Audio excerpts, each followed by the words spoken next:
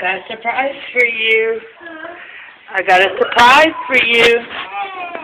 Close your eyes. Close them. Close them. Keep them closed. What you think? Mimi got you that for Valentine's Day. Do you like it? What you think?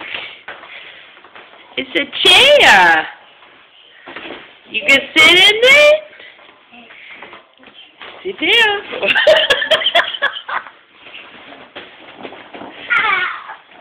Whoa. What you think? You like it?